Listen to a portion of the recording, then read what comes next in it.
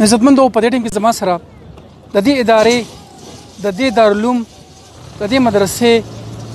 صدر کمیټي ډاکټر سعد انور صاحب موجود دی دا غوینه بعد د دې عظیم الشان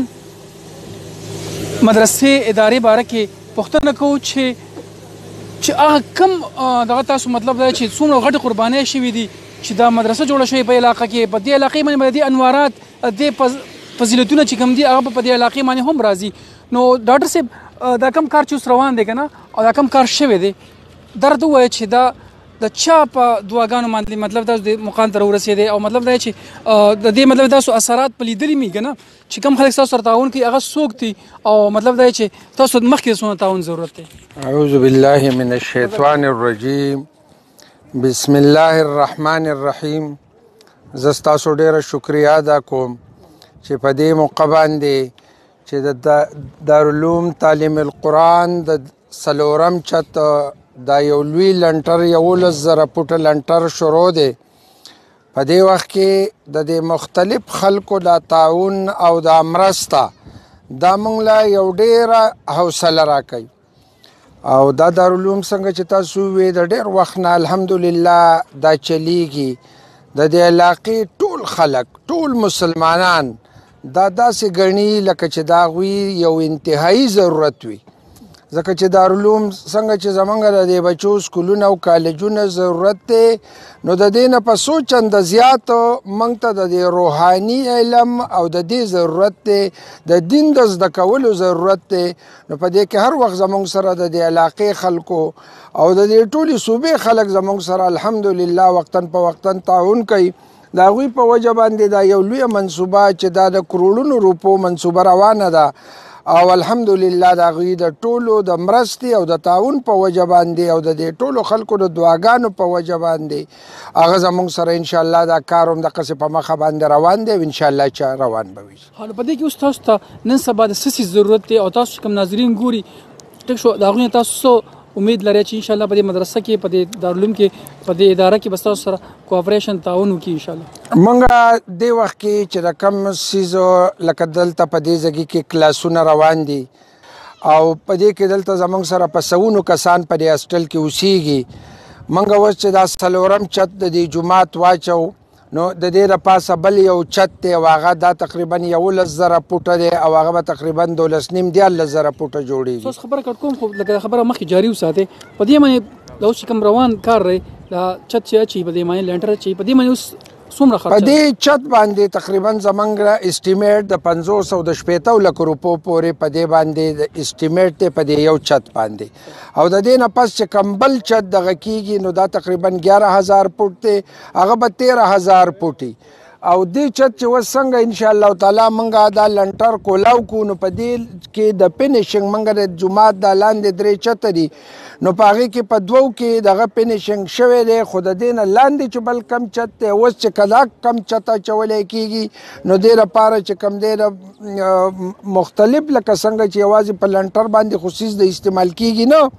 لکه د دې لپاره پلسترې پکار دي د لپاره کړکۍ او ورونه پکار دي د کې دنه په سېنېټر بجلی لکه کار پکار دی د دې سره یوازې مشان خوا ته منګه و د دې سره د باترومونه او د او د دغه چې دی نو دغه طرف ته یو څو ان شاء الله د دې سره په دغه باندې شروع کوو به سم د سلسله لګیا دي په هغې کې اوس په دې باندې کار شروع کوو او ان شاء الله دا کار به موږ ودرو نه اوس په دې سره موږ د لاندې فینیشینګ هم شروع کوو او د دې سره به په بره چت باندې هم ان شاء الله کار شروع کوو یو ډېر ښکلی یو ډېر عظیم کار روان دی خو درته ووایم چې خلک ستاسو سره رابطه کوي که نه د بهر دنیا نه پاکستان کې دننه د بهر دنیا نه څو خپل کوپریشن کوي خپل تعاون کوي ډونیشن را لېږي نو هغه په کومه ذریعه سره را لېږي ستاسو سره به رابطه څنګه ساتي ادارې سره به څنګه رابطه ساتي د هغې به څه طریقه کار زمونږ د دې ادارې باقاعده یو کمیټي ده خو بار په دې وخت کې د صدر په حیثیت زه کار کوم زموږ محتمم صاحب نایم محتمم صاحب لکه ټول د سینیر دا ټول چې کم دي نو دا دلته دغی د دې ټولو کسانو سره او کما سره څوک رابطه کوي نو زما نوم ډاکټر سعادت انور سخاکوټ بازار او نمبر زما د ټلیفون 0301858788 ډاکټر سعادت انور سخاکوټ ټلیفون نمبر 0301858748 اگر ته تاسو دې لپاره یو جدا اکاونټ د دې لپاره بالکل په مختلف د کمیټې د طرف نه یو اکاونټ دی نو هغه به ان شاء الله محمد ته خدای نمبر هغه د زما محتمم صاحب زمنګ په دریو کسانو په دسختونو باندې دی خو ما ته خو د هغې نمبر هغه محتمم صاحب سره به هغه چک دغه وي هغه به ورسره راکړي لاندې نمبر چې تاسو ته ښکاري دا د اکاونټ نمبر دی د مدرسې او دا ټلیفون نمبر چې په دې نمبر باندې تاسو په دې کسان سره رابطه کولی شئ خو دا راته ووایه دا خو یو بلډینګ دی که نه د ادارې لپاره بلډینګ ډېر ضروري دی خو چې کم طالب علمان دلته اوسېږي طلبه دلته پاتې کېږي د هغوی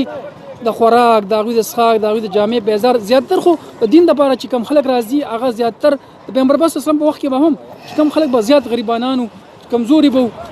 کبار ورته تانه هم ورکولې خو جدا خبره کوم خو دلته هم هغه خلک راځي چې زیاتره غریبانان خلک دي د دین خدمت دغه خلک زیات کوي نو آیا تاسو په دې معنی هم دا خرچه کوي دا کمی پیسې چې راځي کو نه دا جی زمنګ دلته دا تاسو چې دا مخه مخکم بلډینګ ښکاری نو دا مخکې نه درې چته جوړ دی په دې کې زموږ سره شپږ دېرش کمرې دي او په دې کې دا درسګام دي او دا وسره بیا هسټل هم دي په دې کې چې زموږ سره کم دا په سونو کسان اوسېږي نو د دوی د طعام چې څونه د بجلۍ بلونه دلته د استادانو چې کوم تنخواګان تنخواګانې دیني دغه څه تنخواګانې دي ماشاءالله ټول په یو جذبه باندې کار کوي نو دا د دې زمونږ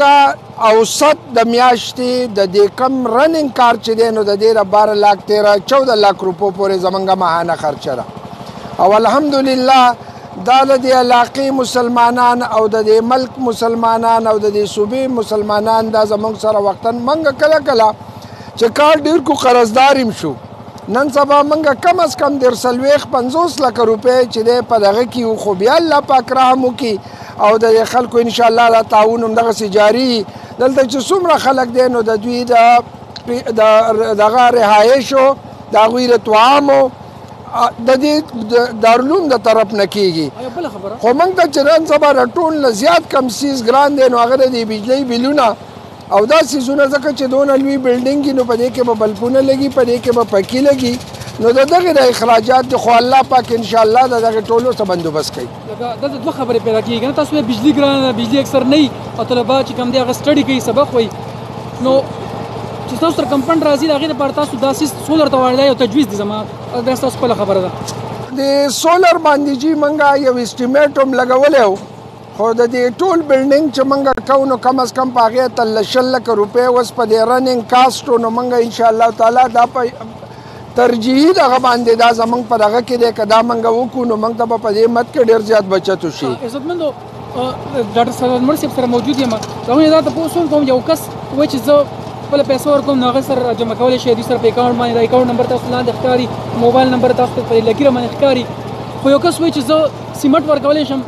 نو سیمټ راوړل شي یو کس وایي زه خښته ورکولی شم خښته راوړی یو کس وایي چې زه مزدور ورکولی شم نو هغې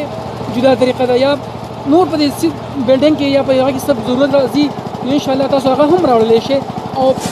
پیسې په مد کې هم راوړل شي پیسې مد له ټولو نه ځکه ښي چې هغه دوی سره بیا خلک په هغې سلسله کې کوپریشن هم کوي دویمه خبر دا چې دوی ته پدې چې کم کار کول پکاري اوس یو ضرورت د خښت دی او سیمټ شته څنګه سره کو دا سیمټ راوړې نو بیا د بې ځای پر دی نو تاسو دې سره کم از کم مشوره کولای شئ مخکې سره کوي چې څه ضرورت دی نو تاسو ویلی شي یا تاسو سره رابطه کوي نو دوی سره ان شاء الله کوي نو مخکې ډیر ښه منګه جی منګه جی په دې کې دا چې مختلف مد دي کله څوک د زکات پیسې راکوي نو الحمدلله زمونږ د علما یو کمیټي ده هغه مونږ په هغه مت کې لګو چې کم د زکات مستحقي بعضې داسې څیزونه دي چې هغه صدقات ملاویږي خلک لکه مطلب دا دی د خپل مړو د پاره لکه صدقه ورکوي نو هغه رزق مونږ هغه بیا ټول منیج کوو چې کم سیز د پاره چا راکړی نو ان شاء الله هغه په هغه مت کې لګو دا یو لوی پروجیکټ دی اکچوال مونږ ته پیسې نه دي پکار موږ لکه څوک وریجې راکوي موږ لکه زمونږ اوړه لګي غوړي لګي دالونه لګي د دې نه علاوه خښته لګي سیمټ لګي مختلف که څوک پکي موږ له راکوي زمونږ لګي جرنیټر زمونږ لګي که څوک د جرنیټر دي که څوک سولر دپاره موږ سره دغه کوي نو هغه په خپله راشي که موږ به خدمت وکړو که هغوی په خپله هم څوک رالیږي انجینر رالیږي که څوک کتابونو په مد کې موږ سره لغه کوي د کتابونو لپاره یا کتابونه راوړي یا لکه موږ سره یتیمانی څوک یا لکه غریبانان دغه وینو که د هغوی لپاره څوک کپړې رالیږي څوک پیزار رالیږي د هغوی د جیب خرچه لپاره موږ ته پیسې رالیږي او دا خلک کوي همداسې نو موږ هغه الحمدلله بیا په حقه مد کې لګوو ډېر مهرباني ملګرو تاسو د کارو لیدو نو راځئ